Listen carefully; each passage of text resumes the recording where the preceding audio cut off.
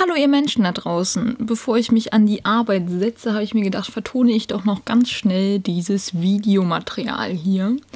Und zwar handelt es sich wieder um eine sehr kleine Illustration mit Aquarell und Tusche. Wer hätte das gedacht? Und zwar geht es um einen neuen dreiäugigen Charakter von mir, der eventuell vielleicht irgendwann nochmal auftauchen wird.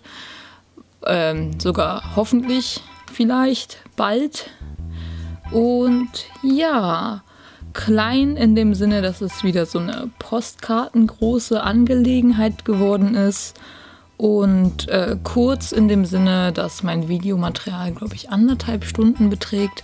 Mehr als zwei sind es auf jeden Fall nicht gewesen, obwohl es ein bisschen Friemelarbeit war. Und ja, wie ihr wahrscheinlich jetzt schon seht, ich äh, leine zuerst die Skizze. Die Skizze hatte ich zuerst in mein Skizzenbuch, habe sie dann auf Papier übertragen, dann die Kamera eingeschaltet, dann wieder mit einem Rotring äh, Tuscheliner geleint.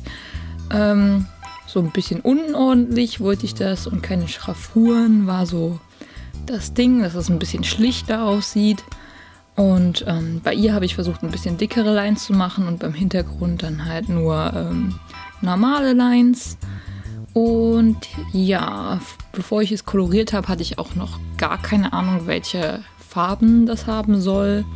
Ich wollte einfach nur so ein bisschen grün, türkis äh, Töne für den Hintergrund haben, für diese ganzen Pilzchen und hatte überlegt, ob ihr rote Haare stehen würden und mehr hatte ich nicht überlegt. Ansonsten hatte ich das Charakterdesign halt nur in Schwarz-Weiß und in Line Art vorliegen. Und ja, habe dann erstmal tausend verschiedene Pilzchen in den Hintergrund gezeichnet. Ähm, verschiedene Größen, verschiedene Formen, verschiedene alles.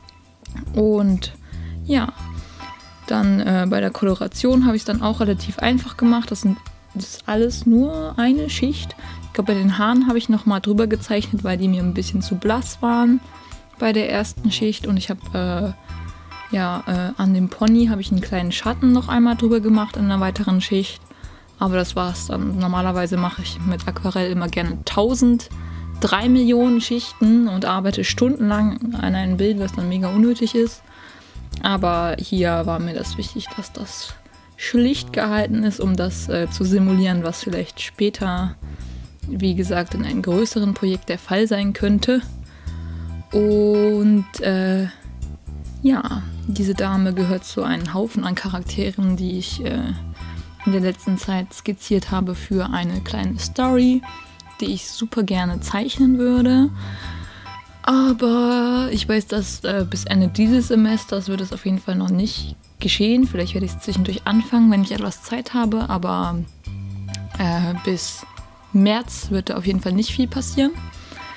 Und äh, ja, weil derzeit bin ich gut beschäftigt damit, ähm, mit meinen Uni-Sachen und ich muss ein Portfolio machen, beziehungsweise mein Portfolio aufbessern, weil ich ein Praktikum suche und äh, ich komme langsam so an den Punkt, wo ich unglaublich erfreut darüber bin, wenn mir jemand zurückschreibt, weil irgendwie 80 Prozent, 90 Prozent meine Anfragen einfach niemals beantwortet werden.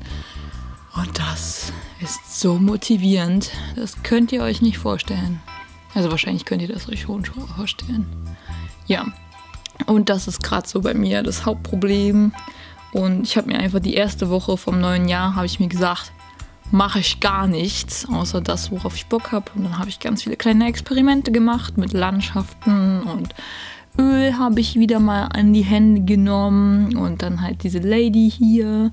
Es war also alles sehr entspannt und ich habe auch was gezockt.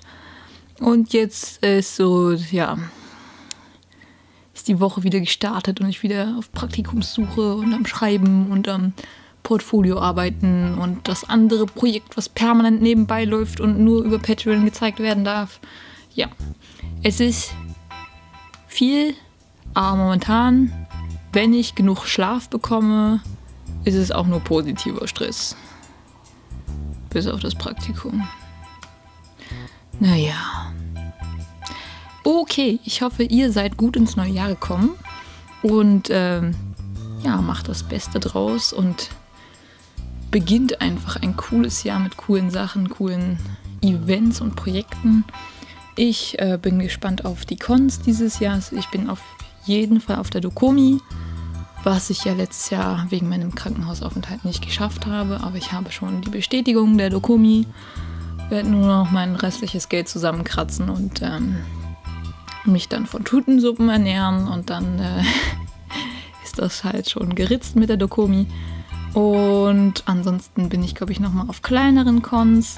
Auf der Comicjade in Aachen bin ich leider nicht, weil ich an dem Wochenende leider was anderes vorhab, was mich ein bisschen traurig macht, weil ich bin so selten in Aachen und das ist immer ganz cool. Da sind so viele nette Leute, die meistens nicht nach Dortmund oder Düsseldorf oder sonst wohin kommen, sondern nur in Aachen abcruisen. Aber äh, geht halt leider nicht anders. Jo, dann ähm, würde ich sagen, war es das von mir.